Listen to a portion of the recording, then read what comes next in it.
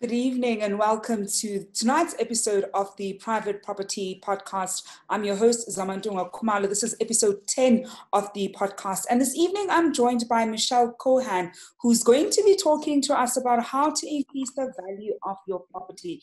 And now, of course, this topic is actually quite a hotly contested one, especially given, uh, you know, the time that we're finding ourselves in and how we've been saying that it's largely a buyer's market, but in the same breath, there are probably going to be some distressed sellers. So Michelle is going to be helping us, you know, better understand valuing our property if we want to sell, um, and also just making sure that you don't outprice yourself too much. Michelle, thank you so much for joining us this evening. My pleasure. Good to be here. So I think, Michelle, I mean, before we even look at some of the more cosmetic changes that one can potentially make when they want to increase the value of their property, it would be remiss of us not to actually look at where we're currently finding ourselves right now in the property market. I mean, there are probably some um, property owners who very likely may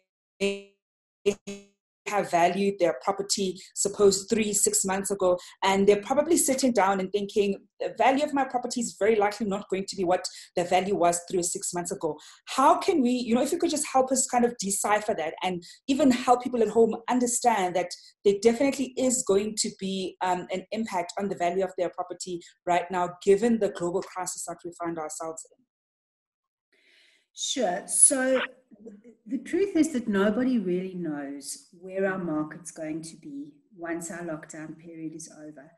Um, it would be silly of me to even try and assume what kind of property values we'd be able to put to properties once the lockdown period is over. But I can tell you what is currently happening um, in the market with, with, our, with our portal, with our website, with our inquiries people who viewed properties uh, two, three, four, five months ago are now coming back to the agents online. My agents are all still working virtually, as most are. Um, and they're saying, you know, I saw that property a few months ago. I've just gone online. I've had time. I've looked at it virtually. I see the price has gone down a little bit. I'm keen to talk about it. Mm. So I think the fact that the interest rate has been has um, decreased twice in the last month has a huge impact on the fact that property will still sell. But on the other hand, it's going to sell at the correctly priced uh, mark in the current circumstances. And what that mark is, nobody knows. Your property needs to be listed. You need to have a really good agent who is giving you continual feedback in terms of what people from the portals are saying. And judging by what the buyers are saying and the kind of buyer activity, even in this market now where people are sitting at home and looking online, that's what's going to indicate how our property prices are looking after the lockdown period. There's definitely more movement in the under 1.8, 1.9 million rand price range. The lower you go, the more activity we're seeing in terms of interest. And interestingly enough, we've actually had one or two offers that have come in. Uh, people did see the property prior to lockdown. The sellers were reasonable. They dropped their price a little bit, and the sale happened. So we're still in a market where property is going to happen. There's no question about it. And, you know, Michelle, if you can perhaps give us a sense of um, how the percentage that these properties are going down by. You're saying that there's, um, you know, quite a significant movement in the properties below 1.8 million. Are, you know, are sellers going down by 5, 10% or more? Um, or um, and how much are the buyers asking for less? So when they're interacting with your agents you know how much how bullish are they in trying to negotiate for a lower price? Prior to the lockdown period i found the whole of last year property prices were selling for between 30 and 40 percent lower than what the asking price was. So that that's a substantial amount to come down but that was also prior to the interest rate decreasing and that's also very much in the market that my company works in, which is the market from about 750 up to about three and a half, four million. Um, the market above that wasn't moving at all, from what I understand. Um, so I think what we're going to find is now just speaking to our sellers, if they are motivated to sell and they actually have a reason that they want to sell their property, they are going to sit and they are going to listen. And they are, if they have confidence in the agent that they're working with and they can see the person's really doing what they need to do, they will hear what the, what the agent is saying. It's all about the motivation to sell. You know, if someone doesn't need to sell, they're not going to take less for than what they feel their property is worth. Now, if you're just joining us at home, I'm speaking to Michelle Cohen, who's the franchise owner for Leapfrog Johannesburg Northeast, and we're talking about, uh, you know, how to increase the value of your property, but really more specifically looking at pricing your property. I mean, we're currently in a very unprecedented time property-wise, certainly for a lot of us who are now in the property market. And whether you're a seller, you're trying to, you know, establish what the right price point for your property is, and perhaps you might potentially distressed seller. Um, perhaps you're not a distressed seller, you're already contemplating selling your property. Um, and if you're a buyer and you want to be interacting with your estate agent, we want to better understand, you know, the value of a property and some of the things that both parties need to be considering as they make um, that decision. If you've got any questions for us on this topic, do ask us below and we'll be sure to answer some of your questions. Now, Michelle, you know, I actually want to look at um, perhaps if you've got any uh, tips for sellers in particular, right? Because I think oftentimes we've tended to find, and perhaps not so much in the past in the past year, because it has been a buyer's market for quite a significant amount of time, even prior to the lockdown. But you tend to sometimes find that there are sellers who firstly overprice their property and then don't want to go down. So even when I suppose the estate agent has, you know, had a sit down, they've, you know, they've looked at the house and they say, I think you've overpriced your property and the property stays on the market for a relatively significant amount of time. What tips would you give to a seller um, especially at this time. And, and let's assume this is, of course, a motivated seller. So, not somebody who has the luxury to kind of sit and wait for the perfect offer that may never come. Um, what kind of tips would you give that kind of seller in, in, in helping them price their property the right way? Well, the most important thing really is to sit down with a qualified career estate agent who can show you data that's pertinent to where we are sitting now in the property market the good estate agent who specializes in your area will be able to show you the transfers that have registered. And you must remember, we're now a little bit behind because the deeds office is shut one thing and another. But the properties that have registered previously, but they'll also be able to tell you exactly which properties in your area have sold and the price that they've sold for. And that's, that information is more important than the information that's coming from the deeds office because that's giving you an indication of where the market was transferring prior to lockdown. So a good estate agent will know the houses in your area. They'll tell you that house sold, that house sold, there's a sold board, this is the price that the seller achieved there. And that's really a very good indication of where the market is.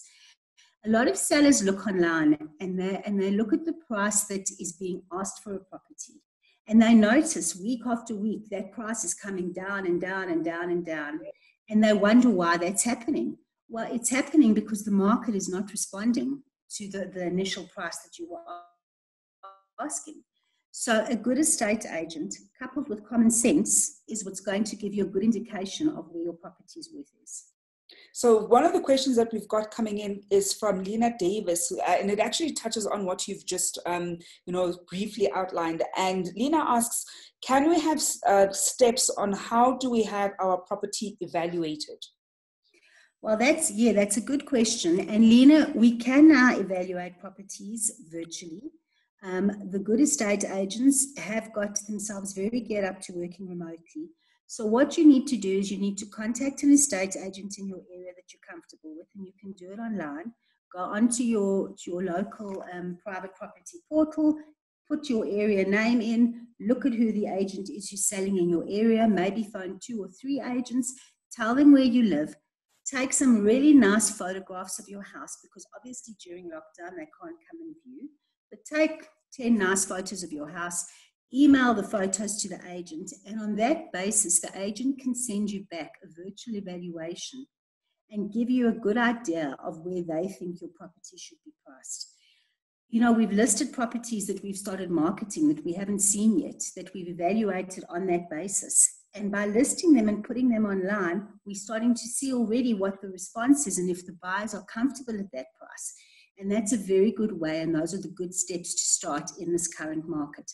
Once the lockdown period's over and your agent can then come over and view your property, They can then give you information about what kind of interest they've had online on the property, and that gives you a really good indication. They're now physically seeing the property, you're meeting face to face.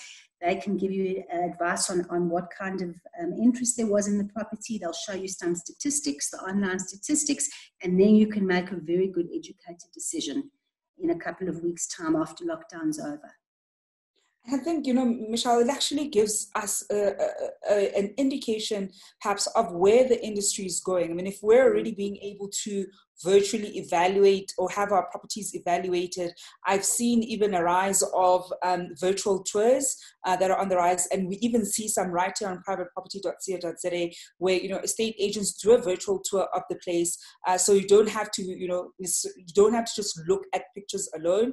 Um, but also there's also the rise of having online auctions, so not having to go to an auction house in order to do in order to participate in an auction. I think some of them are even using platforms like whatsapp to make sure that they're keeping up with the auction. So the property industry is also finding itself having to use different ways um, different digital tools uh, to essentially respond to the global crisis, but also potentially where we're likely headed, you know, in the future, where a lot of times maybe we might even get to a point where um, people who are slightly more seasoned might want to buy properties without viewing it themselves.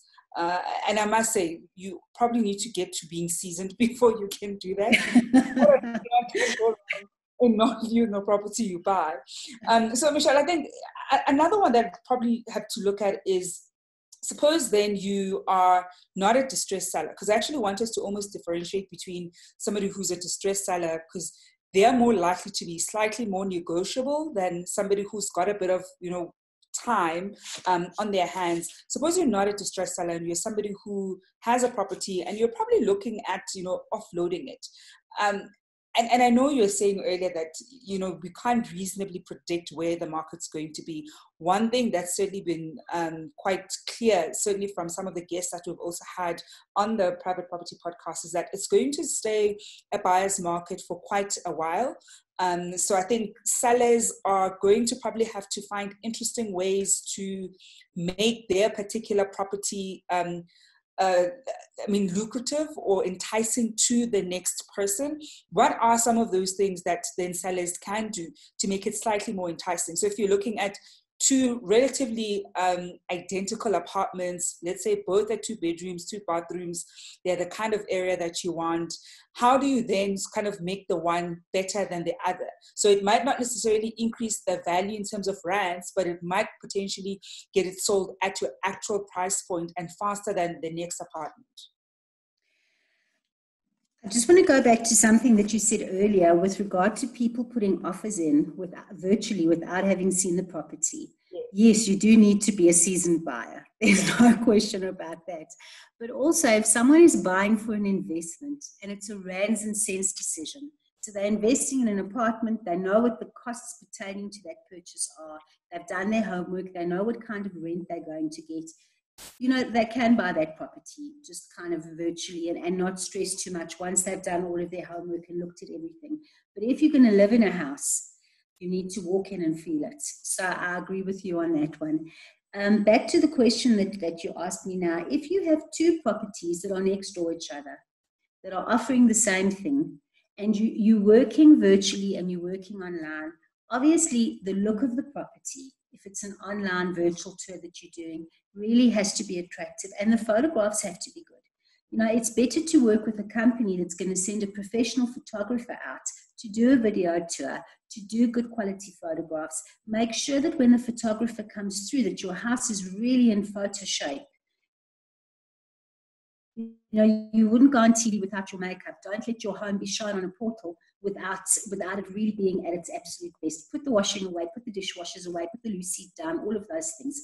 So that's the one thing you can do. The other thing that I think is a really good idea, particularly in this kind of market where people are going to be more and more stretched financially, is to have your home inspected by a home inspector.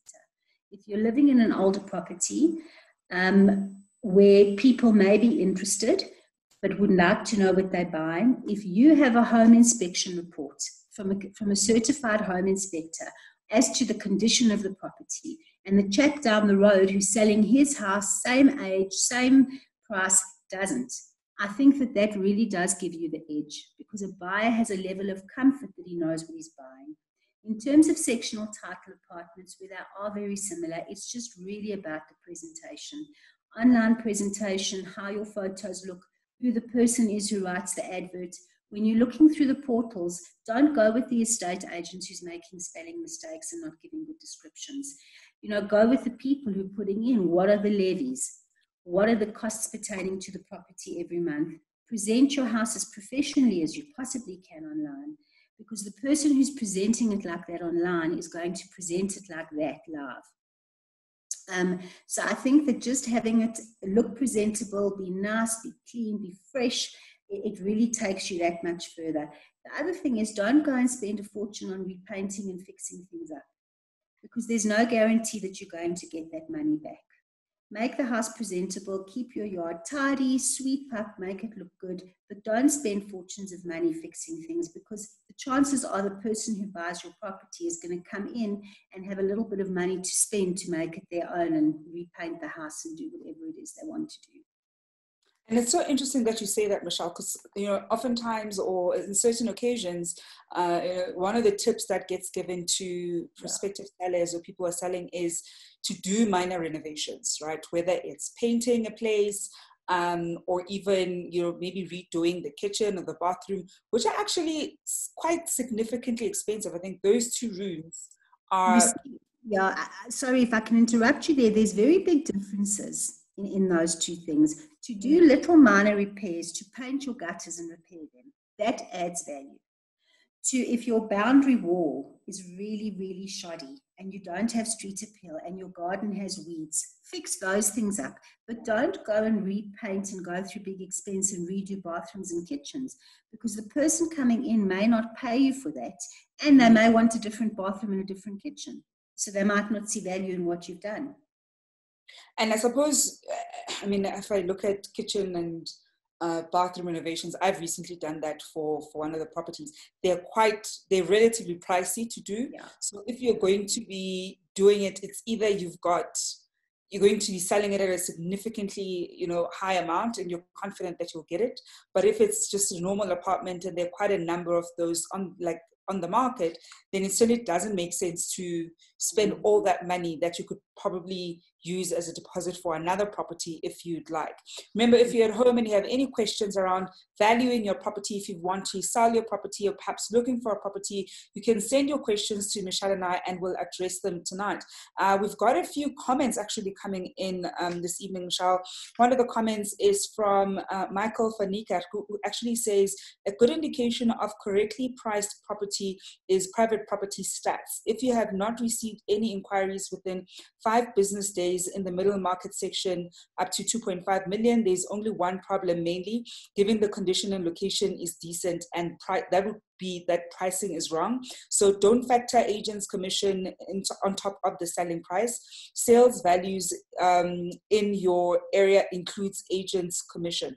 And perhaps that's something we can talk just slightly a little bit about, Michelle, is mm. when you're pricing your property, and it's probably a topic we're also going to be talking about tomorrow about the different costs that go into selling a house. But be- because it's just been touched on right now, when pricing your property, perhaps help us navigate the, the, the commission that, of course, as the seller, you'd be paying your estate agent. Should you be pricing it in or should you just budget for that amount? You do need to price it in, and there's a few other costs, but you're covering that tomorrow night, yeah. so I'm not going to necessarily go into that. But you do need to have that evaluation with the estate agent who will price all of those things in. So you do price the commission in because the amount that you put your house on the market for is the, um, the gross amount. So it's the amount before the commission is taken off. What happens after that is if you're selling your house for a million rand and you get the million rand for your house, um, the, the estate agent's commission comes out of that million rand if they're getting 5% plus VAT. The 57,000 rand will come off that and you'll get the balance into your account. So you must always remember that you do need to factor the agent's commission in. And when you sign a mandate with someone, I'm a big believer in sole mandates because you then agree on a price, you agree on a commission, everything is in writing, there can be no dispute after the fact, and you understand what your net amount is. Um, and that's something very important. The other thing, please, if you're going to sell your house, you need to give your bank three months' notice. They need that 90 day notice period so that you don't have a penalty.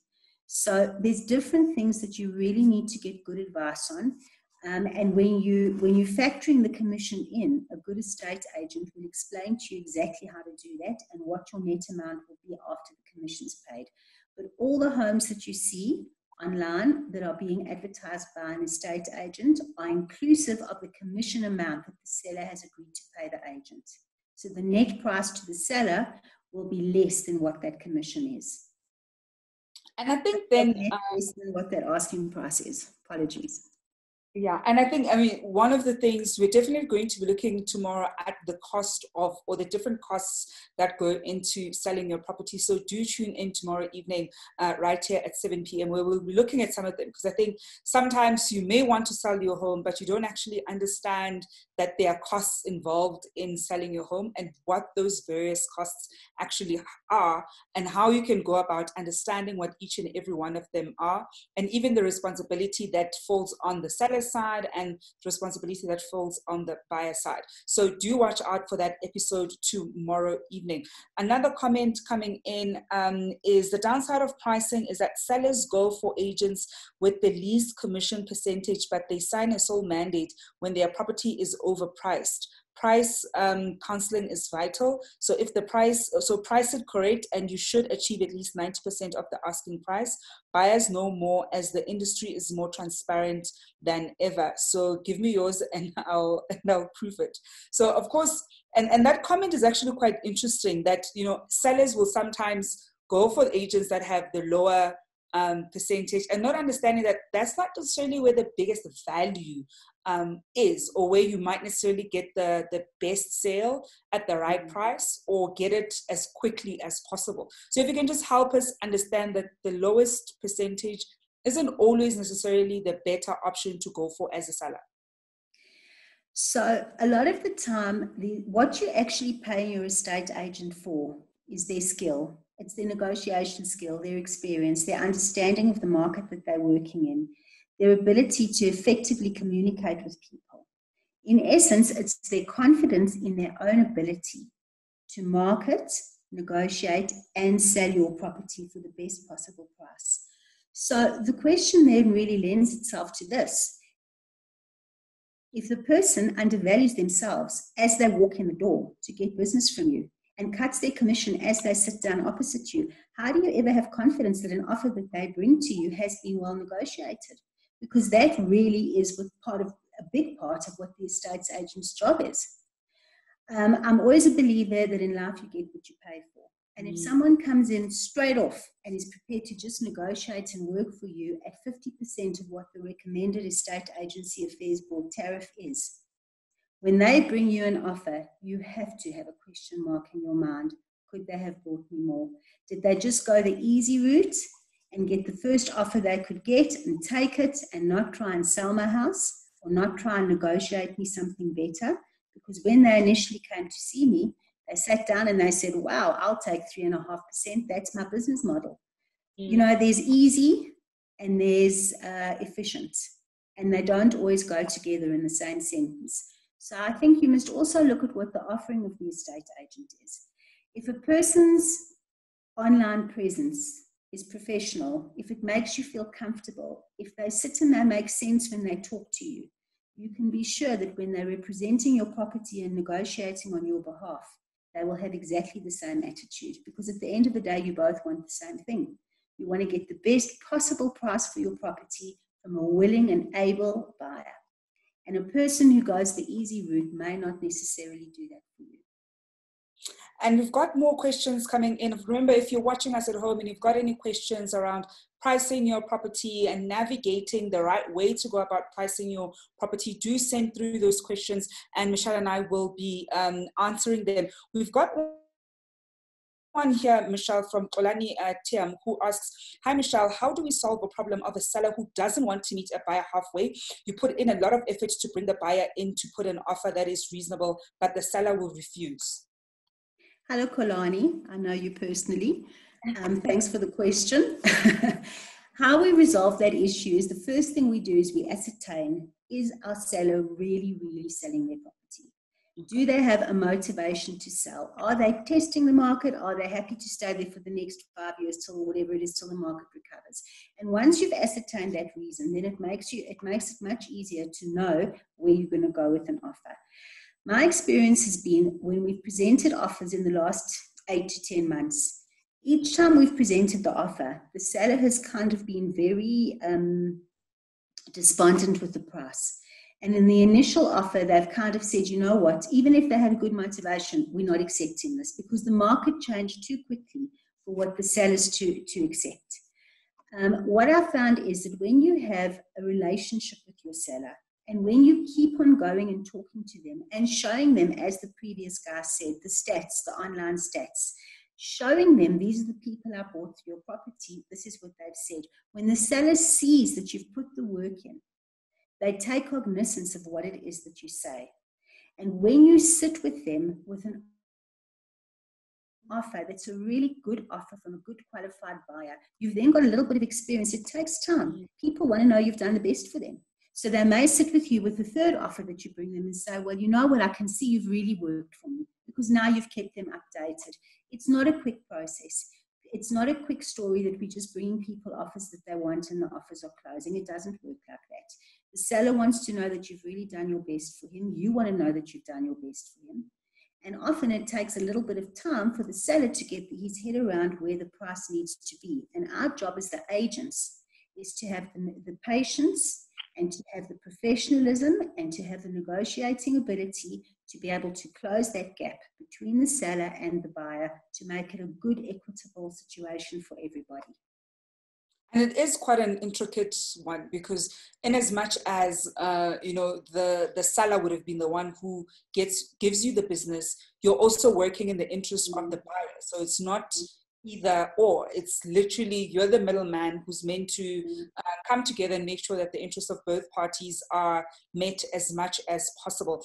Now, Michelle, you know, another one Sorry, is perhaps. Can I, can I interrupt there? I think yeah. that that's why that Home Inspector's report is going to, particularly after lockdown, become a more important um, negotiation tool. Mm. I think that when your seller has shown good faith that he's gone and he's got a report on what kind of property he's selling. And when you sit with your buyer, you say, you know, we've got a, a completed disclosure document. Our seller has told us, you know, everything about his house. But over and above that, he's had someone in who's checked all the things that we can't see. We didn't come climb into the roof and check the roof trusses. We didn't look at the geyser, but he's had someone check that. So you know if you're going to pay him close to what his asking price is, you know that those things have been checked and they're not going to be for your cost within the next two to three years. And this was actually something, Michelle, that we did cover in one of our episodes just this week the importance mm-hmm. of having that um, inspection in uh, and understanding some of the things that might not be working in, on, in your property. Because um, the reality is, with some of these properties, perhaps it was a rental unit and the owner generally wouldn't know what is wrong with it, mm-hmm. um, especially because tenants don't always uh, say that this is what was wrong while I was staying here. So the mm. moment you are viewing a place, and I know I've never actually viewed a place where um, the, the report was already ready up front that said these are the things that we are aware of that needs to be fixed and we can either fix them or you're going to buy them knowing that these are uh, need fixing and perhaps you mm. can use that to negotiate the price better if anything and i was even admitting this in, on yesterday's episode was that I've I've been burnt a little bit with buying a property that wasn't thoroughly inspected, and a couple of months later realizing that oh, actually this is something that was you know damaged before I even bought the property, and chances are the previous owner may or may have not known. But had I had an inspection in, um, then I would have probably known that this is something to flag and either have it fixed or make sure that I negotiate the price um, just further down. A few more questions coming in, Michelle. We've got one from Lena Davis who asks Is it a good idea to approach different agents to advertise for you? You see, I don't, I actually don't believe in that. I think the same way that you have a relationship with one person that you trust and you, you want to be with. That's kind of how you need to feel about your estate agent. you know, you need to decide do you want the quickest sale or do you want the best sale? So if you're an estate agent, particularly in a difficult market, and someone has given you and four other people your property to sell, you do, you market the property, you work hard on it, you'll take the first offer that someone gives you you'll, you'll negotiate and you'll do your best for the seller. But in the back of your mind, you know all the time, wow, you know, there's another agent at work here. At any minute, someone else can come in, put me to the post, and then that's it. Mm. You know, I don't have an opportunity anymore. So I think it's really important to commit to one estate agent. And I'm a big believer in working with someone who's an area specialist. The person who specializes in your area, because the areas do differ. You can't work the whole of the greater Johannesburg area and know all those areas. The areas differ. You need an area specialist. You need somebody who has a really good reputation. Um, if you want to, to interview a couple of agents and after that knock on the door of someone who has a for sale board outside their house or a sold board by the agent that you've interviewed, that's the best way to know who you're going to be choosing. Um, and commit to that agent and sign their mandate and, and get the feedback and work with that person. And we find on a sole mandate, we really find that the prices that the purchasers pay and the sellers get is better because there's a level of commitment and understanding that we, we, we're conducting business and everything's transparent. Um, you also want your property to be shown with one voice. You don't want five people showing five different views of what your property is about, what the price is, what it's offering. You want one message out there to the potential buyer, and you want that message to be clear and concise and professional. And it's actually interesting that you, you say that you want your property to have one voice. I mean, I've seen with certain properties, suppose they are listed, for example, by two or three, three different agents, and the price is typically not the same price. Um, and sometimes I'll go to the one who's listed it at the lowest price to actually see if I can't get it even lower and then go to the other one and establish if you can't go lower than the other one. So you're almost now trying to pit, you know, the various estate mm-hmm. agents against each other so that you get the best offer. So I suppose then as a seller, you're essentially shooting yourself in the foot because if as a buyer I can already see your property listed by three different people and they're they're they're all willing to negotiate on price with me and i'm just out now to get the lowest possible price that i can um, i can get. I've got a few comments and some questions coming in. I'll start with a comment from howard um, who asks um, who comments rather from the little that i've researched the more the ads one um, the more the ads or the more there ads on one property, the more the buyers immediately detect the sense of desperation and they'll take advantage of pricing the property down. So it's literally what I was saying just now. So different agents would have started that price battle with their different commissions to start with. Exclusive and sole mandate is the way to go. So really reiterating what you were saying there, Michelle. And mm-hmm. another one is from Dural Jafta who says, what if you're interested in a property that is in a good area, but the home looks in a bad state? But the seller wants a very high price and you know it's not worth that that much um, as there's a lot of work how do you go about um, wanting how do you go about wanting to purchase a property like that or do you just pass the look for something better so I think that if something catches your eye in property, you know, property, if you're going to live somewhere, it's an emotional buy. And to answer that gentleman who's asked that question, the position, position, position. You rather buy the best prop- the worst property in the best area that you can afford because you can change everything about a house, but you can't move it to a different suburb. Mm. So that's the first thing. The second thing is I think it's always worthwhile to go and look at a property and to have a discussion with the estate agent and to ask them the questions. To say to them, the house really isn't in good condition. Do you have a disclosure document? Do you have an inspector's report? Has the seller had any offers on this property? How long has this property been on the market for? Those are the things as a buyer that will help you ascertain where the seller's head is. And if you really want the house and you see value at a substantially lower price, you are most welcome to put that offer in with the agent. The agent's job is to present that offer to the seller, and the seller can then reject or accept it. Often, if the price is just so far lower than what the seller accepted, they feel really insulted and they won't even entertain a counter offer. But you are most welcome to put an offer in at the price that you see and expect that you may, may get a counter offer back. So don't just walk away from the property because you think that the price is wrong. And I think, particularly in the market that we're in now, um, we're going to find when this lockdown period is over, um, it's going to be very interesting to see the kinds of offers that will come in. I'm not saying that the market is going to tank or go down much further than what it is now. I don't know. We have to wait and see. Logic tells me that our interest rate is lower people are going to be able to buy their dream house. They're going to be able to move in the area that they want, but they're going to do it at a price that suits them. And I think you know one of the one of the things I've picked up along the way is sometimes just don't be scared to put in a cheeky mm. offer.